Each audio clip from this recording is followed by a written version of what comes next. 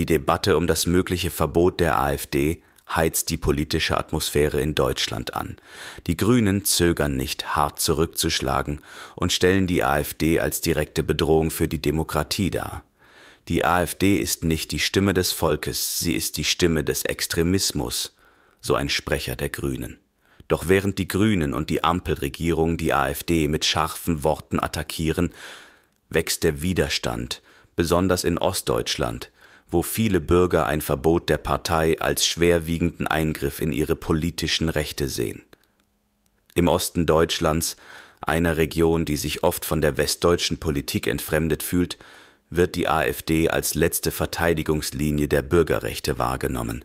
Ein AfD-Vertreter aus Thüringen betonte, wir sind die einzige Partei, die die Interessen der Menschen in Ostdeutschland verteidigt. Sie wollen unsere Stimme zum Schweigen bringen, weil wir die Wahrheit aussprechen. Das ist kein Schutz der Demokratie, das ist Zensur. In dieser Aussage schwingt der Ton von Empörung und tiefer Verbundenheit mit den Menschen mit, die sich in einem politischen System oft vernachlässigt fühlen. Mario Feucht, CDU-Vorsitzender in Thüringen, befindet sich ebenfalls in einer prekären Lage.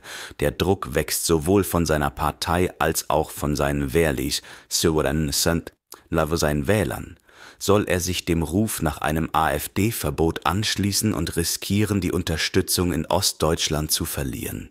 Oder sollte er die Rechte der Bürger in dieser Region verteidigen und damit den Zorn der CDU-Spitze in Berlin auf sich ziehen? Es ist eine Frage der Balance, sagte Feucht in einem Interview. Die Demokratie muss geschützt werden, aber gleichzeitig dürfen wir die Sorgen der Menschen nicht ignorieren. Doch für viele Wähler in Ostdeutschland ist das zu wenig. Sie verlangen klare Positionen und eine Verteidigung ihrer politischen Rechte. Die AfD nutzt diese Unsicherheit in vollem Umfang aus und stellt sich als letzte Bastion gegen die Entmündigung des Volkes dar.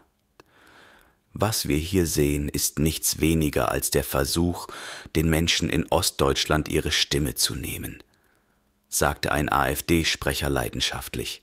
Wir werden nicht zulassen, dass die Bürger von einer selbsternannten Elite zum Schweigen gebracht werden. Das ist eine Frage der Demokratie. Und die AfD wird sie verteidigen. Diese Worte treffen tief ins Herz vieler Wähler in Ostdeutschland, die das Gefühl haben, dass ihre Stimmen in der westlichen politischen Landschaft untergehen. Doch die Grünen bleiben hartnäckig und werfen der AfD vor, nur Angst und Hass zu schüren.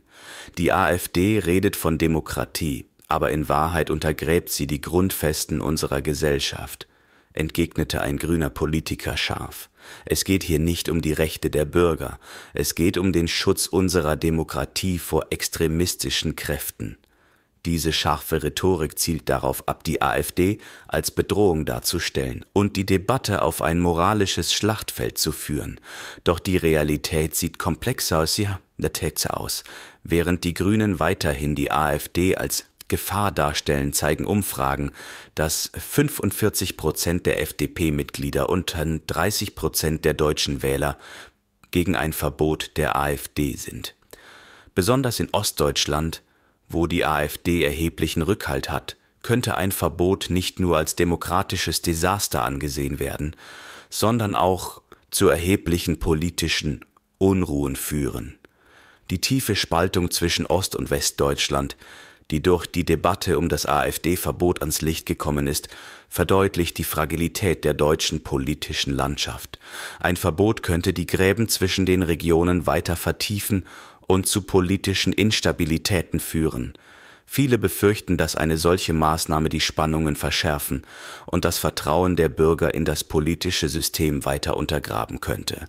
Mario Feucht steht somit vor einer entscheidenden Wahl.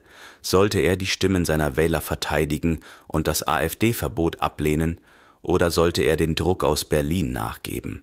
Beide Optionen bergen Risiken, und seine Entscheidung könnte das Schicksal der CDU in Ostdeutschland für Jahre bestimmen. Letztlich bleibt eine Frage offen.